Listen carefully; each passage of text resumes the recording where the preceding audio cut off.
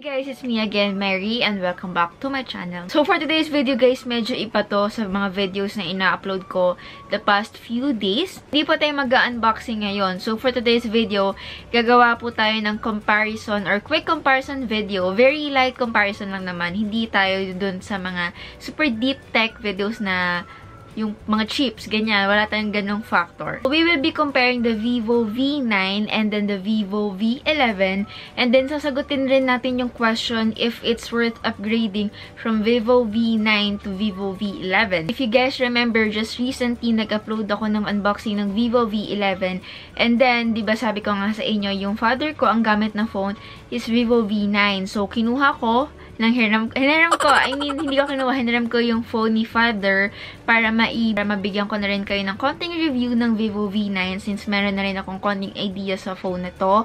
And then, comparison nito with the Vivo V11. So, if you are currently using the Vivo V9, masasagot natin yung question ngayon kung worth upgrading ba siya. And then, if you don't have the Vivo V9 or the Vivo V11, and then you're planning to buy either of the two, um, baka pwede na rin kayong makakuha ng idea from this video. Hawak ko sa right hand ko guys is the Vivo V9 and then yung hawak ko sa left hand ko is yung Vivo V11. So the Vivo V9 is made of plastic and then itong Vivo V11 is made of glass. Sa display pa lang makita nyo agad yung difference nila. So yung sa Vivo V9 yung notch niya medyo mas malaki talaga halos kasing size nung sa iPhone 10. Pero mas malaki yung sa iPhone 10. Later, papakita ko sa inyo yung comparison ng size nila. And then, here naman sa Vivo V11, halos tuldok lang yung notch niya. So, we can compare it doon sa Oppo F9. And then, yung tawag again ng Vivo dito sa notch nila is yung the Halo notch. So, ito naman yung notch nung iPhone 10 And then, ito yung notch ng Vivo V9.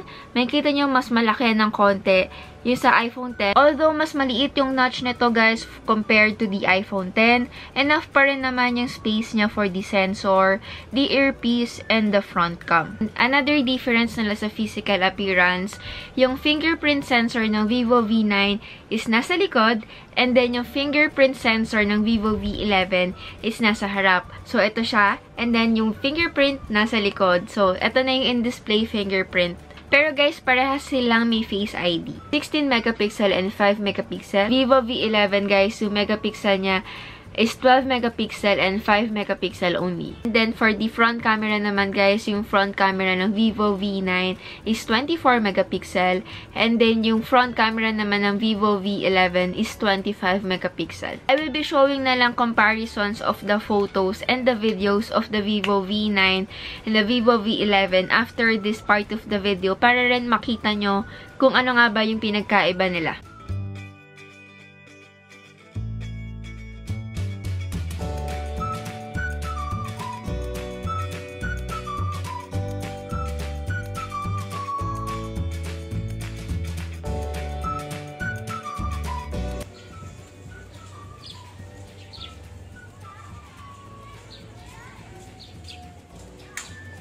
Now, yung size naman ng display nila guys, parehas lang. They both have the 6.3 inch display. This Vivo V9 naman guys is in 4GB RAM and this Vivo V11 is in 6GB RAM. Then for the charging naman guys, ito po ay hindi fast charging and then ito naman po ay fast charging. Battery naman guys, itong Vivo V9 has 3260 mAh And then, this Vivo V11 has 3,400 mAh. Again, guys, sasabihin ko lang na may two ways tayo. Parehas sa phone kung paano i-unlock. Parehas silang may Face ID and parehas din silang may fingerprint. Yung pinagkaiba lang talaga nila is in-display fingerprint. So, medyo mas futuristic tong phone na to.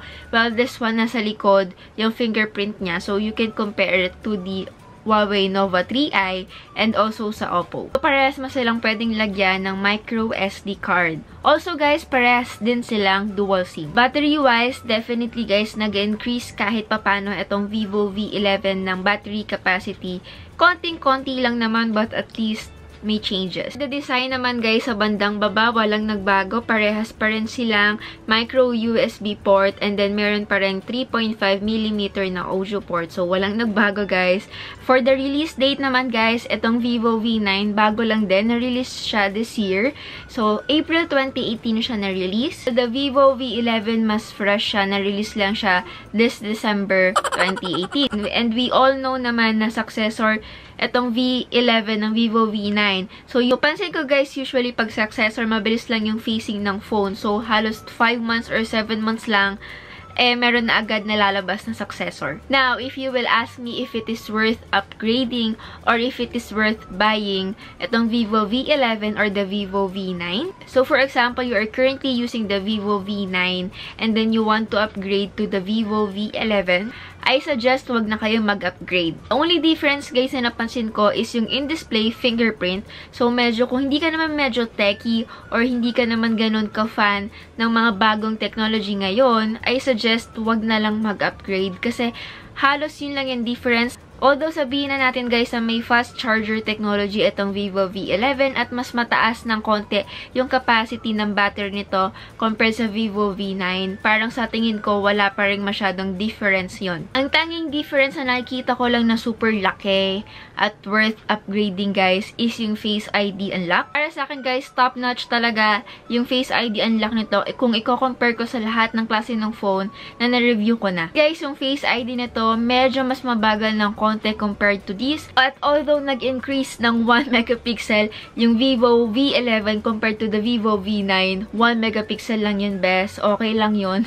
Hindi naman natin yung ikakaganda yung 1 megapixel na yun kasi halos parehas pa rin naman. Ito naman guys, another situation if you are torn from buying the Vivo V9 and the Vivo V11.